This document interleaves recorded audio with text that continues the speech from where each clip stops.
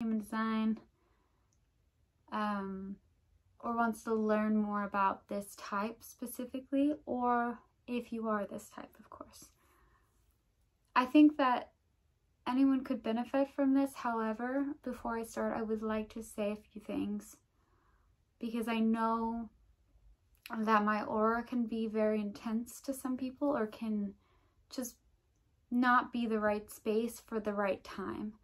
And I don't want in any way, shape, or form to somehow bomb drop or put something on you that causes a lot of realization to come up too quickly when you're not ready. And so at any point in time, especially, you know, if you have that five, I know you're going to want to learn. If you're a five one, you're going to have that curiosity.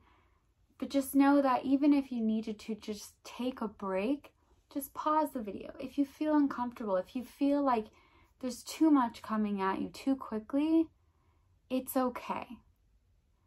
I am in no way going to be offended if if this doesn't click with you. It is more to put it out there because I feel like nobody really has except for, you know, one video I watched, which I'll mention a little later.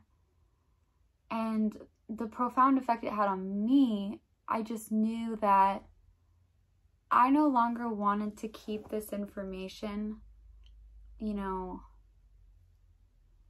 under wraps because I often do believe that human design and the way and the, the cost of a lot of it, it is so hard for people to get the knowledge that as a projector, it can feel very overwhelming.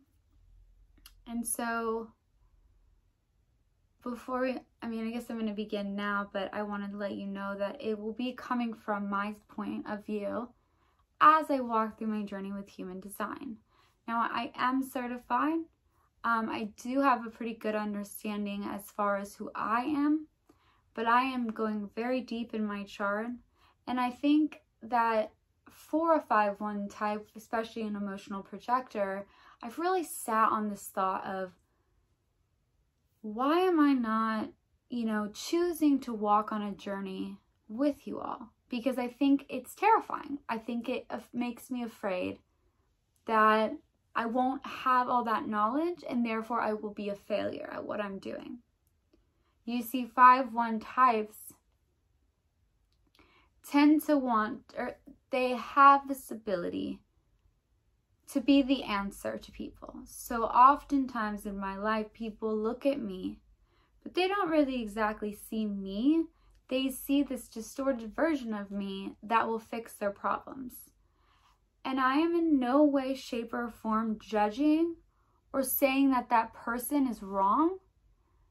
However, it was me that needed to choose my boundaries because I'm also an emotional projector, meaning that I am needing to follow my strategy, which my strategy as an emotional projector is to wait for an invitation and then give myself the emotional wave or a few days to feel ups and downs from who I am and how I feel about the situation.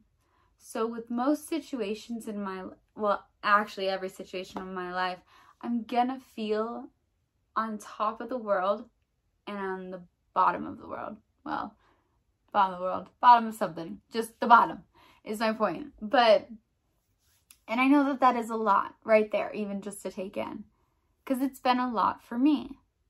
And so I want to start with a little bit of background of how I got into human design. And so you understand where I'm coming from as far as the journey that I've been on.